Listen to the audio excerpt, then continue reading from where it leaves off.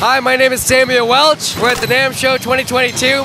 My company is WTS Drums. These are very innovative new line of drums. They tune like a guitar. You can change the tuning all from this one little tuning peg right here. One of the most innovative things that's ever happened to acoustic drums. You can change the tuning of your drums on the fly. And I'm gonna show you how that works right now.